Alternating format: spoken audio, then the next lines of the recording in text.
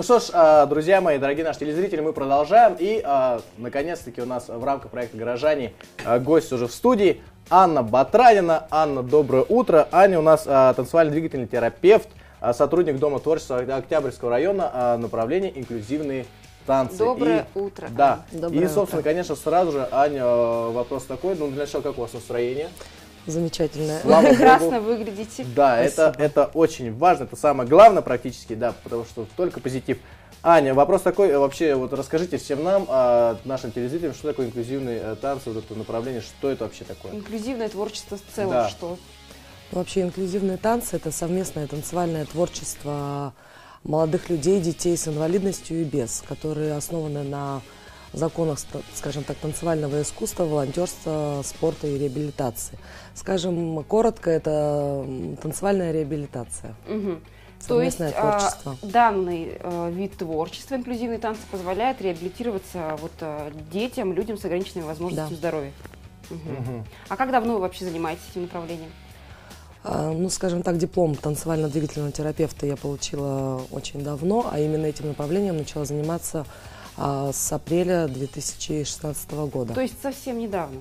Ну, Именно инклюзивной хореографией, да. А что вас подвигло начать заниматься этим? А, Меня пригласило общество без барьеров а, реализовать проект инклюзивные танцы в нашем городе, в городе Улан-Удэ, а, для, скажем так, популяризации этого направления, чтобы мы по возможности как можно больше людей и детей собрали вместе и дали возможность э, самореализовываться и творчески, и вот показывать себя. Мгм. Ань, а вот скажите, пожалуйста, вообще насколько вот это а, направление, да, инклюзивные танцы и вообще это творчество развито у нас в Улан-Удэ и вообще, может, в Бурятии в целом, то есть а, есть еще где-то какие-то э, ваши коллеги, где-то еще преподается это вообще, как это развито, насколько развито это все в Бурятии?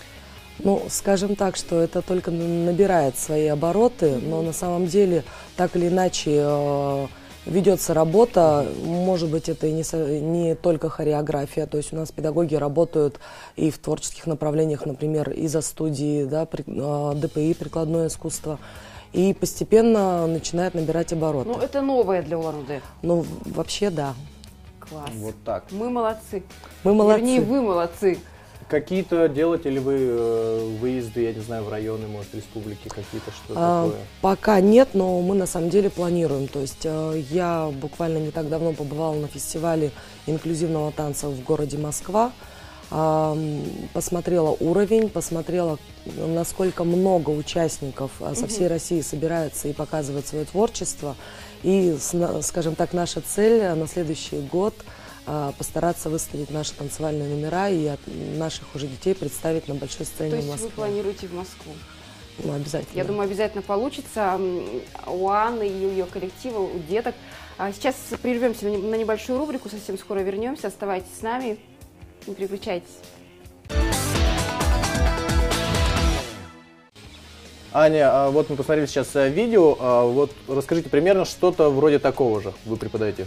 А, В том числе, да. То есть, но здесь было представлено именно танцы на колясках, то есть это достаточно сейчас развитое направление.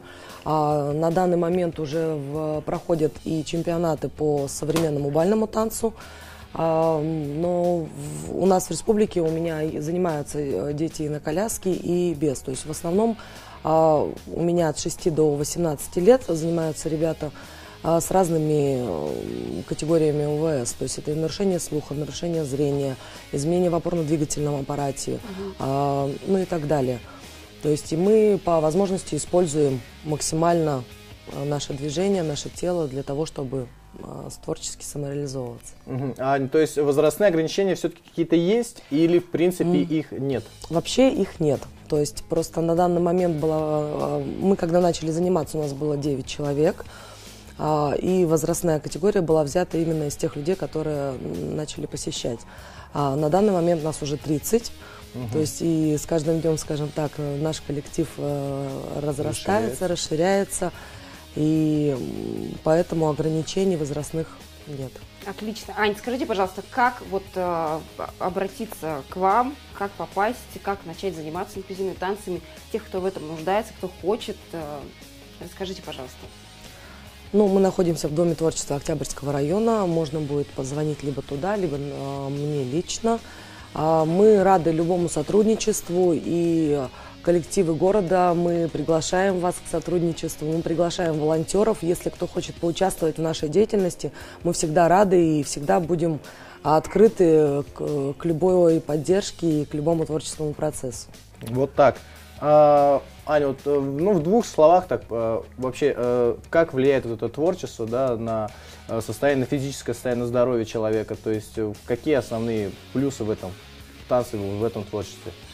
То есть, люди начинают заниматься этим, они чаще улыбаются, просто такие становятся на позитивчики. В любом случае на позитивчике, потому что танец сам по себе является очень терапевтичным. А, здесь идет даже момент а, такой, что эта творческая реабилитация позволяет, а, скажем так, в комфортной обстановке, в комфортной среде а, заводить новые знакомства, реализовывать себя, да, узнавать свое тело, узнавать свои возможности использования своего тела, творчески выражаться. И совместная деятельность это новые знакомства, то есть это дает большой заряд энергии и стремление к чему-либо. А ну, пожелайте что-нибудь нашим телезрителям. А, Телезрителям я желаю доброго утра, хорошего настроения и будьте счастливы. Вот так. Вот такие добрые слова, пожелания от нашей гости из рубрики «Горожане» от Анны Батраниной. А, Всем хорошего дня. Мы совсем скоро к вам вернемся.